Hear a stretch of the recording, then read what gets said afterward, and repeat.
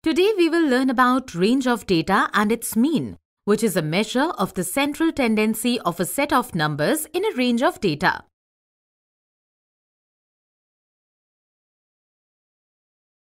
Say we need to find out how batsman Virat performed in a particular match. Can you think of a way by which this can be done? Can you guess? Well, let me tell you. We need numerical information to take decisions in such situations. We would need to list out the number of runs scored by Virat in some of his innings. Let's say the number of runs scored by Virat in his 7 innings are 85, 70, 59, 70, 65, 70, 85. This essential numerical information can be referred to as data and each number can be referred to as an observation. The smallest observation in the data provided is 59 and the largest observation is 85. If we subtract the smallest observation from the largest observation, then this gives us the range of observations from the data provided for Virat's innings. The range of runs is 85 minus 59 is equal to 26. The range of data provides us with detailed information about the data such as the extension of data is from 59 to 85. Considering that we have collected data for some innings, we know how Virat has performed in these innings. However, it is difficult to get information about Virat's performance in all his innings by looking at these figures as his performance must have varied in different innings. In such situations, we need a number that can represent this group of observations that is, a central tendency for the entire data set. We call this number representative value or central value. The mean, median, and mode are measures of central tendency, but their suitability and applicability depends on the requirement. In this video, we will focus on the suitability and purpose of mean. In general terms, mean is referred to as average. It is also referred to as arithmetic mean. To derive mean, you need to divide the sum of all observations by the number of observations. For deriving mean for Virat's innings, we will need to add up the number of runs provided in the data and then divided by the number of innings for which the data is provided. 504 divided by 7 is equal to 72. We deduce that the mean of Virat's number of runs from the data provided is 72 runs. That is, Virat had an average of 72 runs in each innings. The mean derived tells us that if Virat had scored equal runs in each innings, he would have scored as many as 72 runs in each innings. We see that 72 is located between the smallest observation 59 and the largest observation 85. It can be generalized that mean is a number between the smallest observation and the largest observation, indicating that mean is always within the data range. Today we learned about the range of data and a measure of central tendency, mean. In the next video, we will learn about the measure of central tendency, median and mode.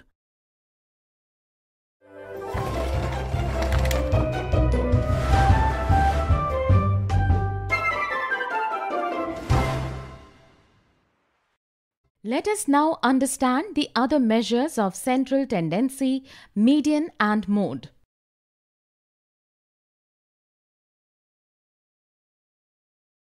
We have learned about data range and its mean in the previous video. Let us now understand the other measures of central tendency, median and mode.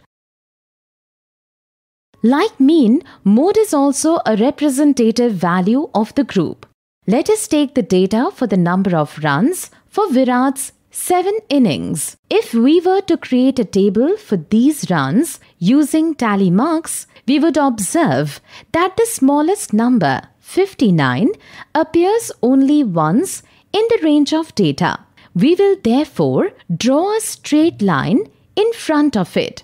Similarly, we will draw straight lines for 65, 70 appears 3 times.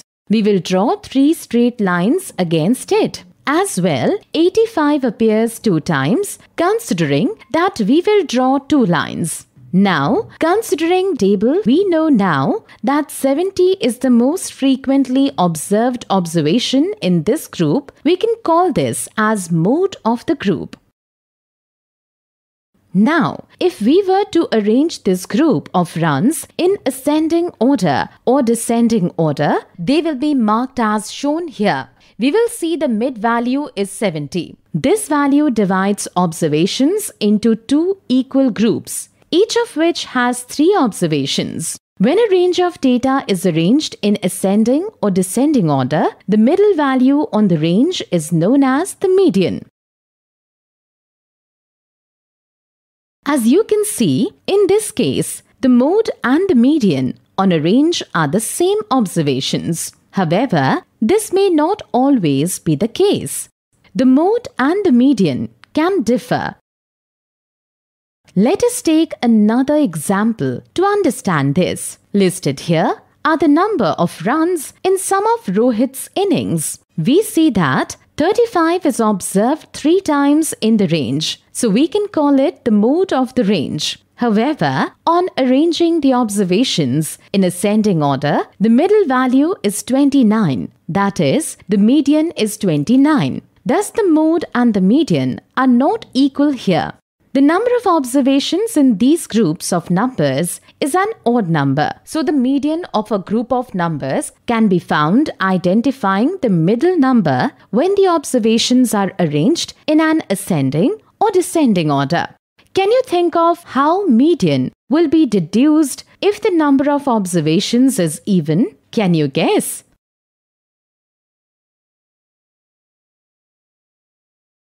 Well, let me explain. In cases where the number of observations in a group is an even number, to obtain the median, we arrange the numbers in ascending or descending order and derive the mean of the middle two numbers. So, for example, for the set of observations 21, 23, 27, 29, 35, 35, numbers 27 and 29 are the two middle numbers. To find the median for this data, we first derive the mean of the two middle numbers 27 plus 29 divided by 2 is equal to 28. Now that we know that the mean of these two numbers is 28, we can deduce that the median of these observations is 28.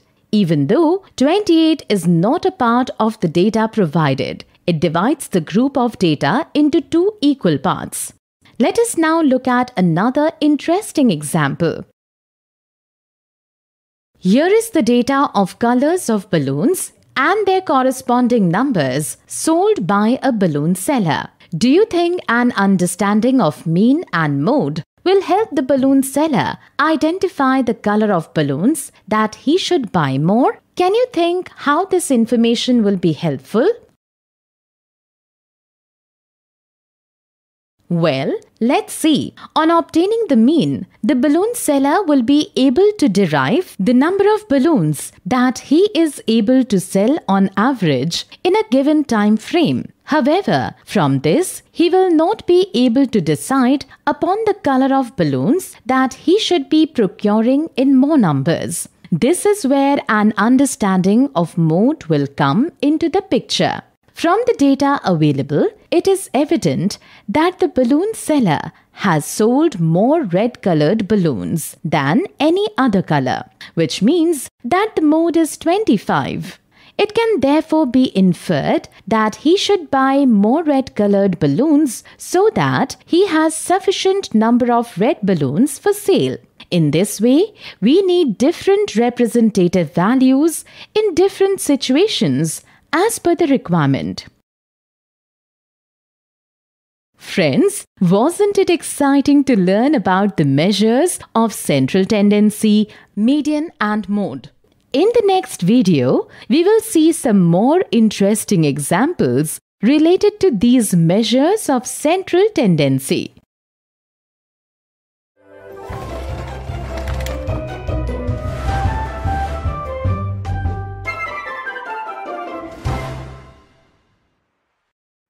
Today we will elaborate and learn more about the concepts of mean, median, mode and range of data. This table provides you with the costs of five textbooks of different subjects. Using this information, can you calculate the mean, median, mode and range of the data? We all know mean is equal to sum of all observations divided by number of observations. Using this formula, we can derive the mean of the values given in the table. The answer of this is 53. Let us also try deriving the range of this data by subtracting the smallest observation 46 from the largest observation 60. The range comes out to be 14. Now to find the median, let us arrange the data in ascending or descending order. Ascending order. We have learned that the observation in the middle of the range is the median of the range. Looking at the data provided, observation 54 is the centermost value and therefore it is the median. Also, we have learned that in a group of data, the most frequently occurring observation is called the mode of the observation group. Looking back at the data provided for the costs of the textbooks, you may see that each observation has occurred at most once. Do you think we can infer that all observations in this data are modes? Well, yes, they are. This brings us to the conclusion that a data set can contain more than one modes. Do you think the mean and the median also be more than one for a data set? Why don't you find that out by yourself? In this way, we have found the mean, median, mode and the range in the group of data shown. Next example. There are 9 numbers provided. Of these 9, the mean of 4 numbers is 20 and the mean of the remaining 5 numbers is 25. Can you derive the mean of all the numbers? Friends, we know that mean is equal to sum of all observations divided by number of observations. We can also say that mean into number of observations is equal to sum of all observations. Considering this formula, sum of 4 observations is equal to 20 multiplied by 4 is equal to 80 Sum of 5 observations is equal to 25 multiplied by 5 is equal to 125. Therefore, the sum of all observations 4 plus 5 is equal to 9 will be 80 plus 125 is equal to 205. Now the mean will be derived as mean is equal to sum of all observations divided by number of observations. 205 divided by 9 is equal to 22.77. Let us look at an example. For finding the mode of a set of data. As you can see, there are so many number of observations. Therefore, we will be using tally marks to find the mode. For this, we will first create a table.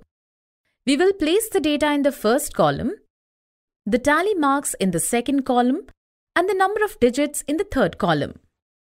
Let us go from left to right and make tally marks. Now pause the video and take a moment to think. Looking at the table, we can easily infer that both 7 and 4 have come at most 9 times. Hence, 7 and 4 are the modes for the provided data set. Today we saw some examples of how to derive mean, median, mode and range from a set of data. In the next video, we will learn about some mistakes and misconceptions related to mean, median and mode.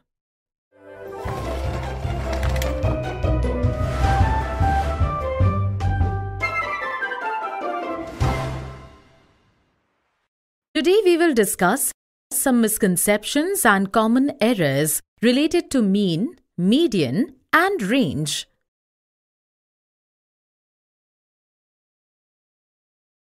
Misconception 1. Find the range of data shown. Some children have the misconception that the largest figure or number in a group of data is called range. But this is wrong. Hence, option 1 will be the wrong answer. The difference between the largest figure and the smallest figure in a group of data is called range. That is, the difference is obtained by subtracting the smallest data from the largest data in the group of data. So the range will be 9 minus 2 is equal to 7. That is, option 2 will be the correct answer. Misconception 2. Some numbers are given below. What is the mean of this group of numbers? Because of the confusion between the mean and the median, children think that mean is the middle number of the series of numbers, that is 33, which is option 2. But this answer will be incorrect. Mean is equal to sum of all observations divided by number of observations. Therefore, the mean here will be 28. Hence, option 1 will be the correct answer. Keep in mind that when given numbers are arranged in ascending or descending order, then the number in the middle is called median. Here, median is 33. While calculating mean, some children ignore observation 0. Like here, they think that they only have to get the mean of these 6 observations and they ignore 0. So they divide the sum of these six observations by 6, which gives them the mean 32.66, which will be a wrong answer. Hence, option 3 will be the wrong answer. Now let's discuss some mistakes. Mistake 1 Finding the median incorrectly. To find the median among these, some children find the median without arranging the data in order. Like here, they think that 9 is the median. But this is a misunderstanding. Only after arranging the data in some order can we find the median. Like here, the ascending and descending order will be the middle term in the observation is the median. Hence, 6 will be the median. Mistake 2. Now look at this group of numbers. Here the observations are in ascending order and the number of observations is 10. Some children divide the number of observation by 2 to find the place of the median. Like here, 10 divided by 2 is equal to 5. So they think that the median is a number on the fifth place, that is 10, which is a misunderstanding.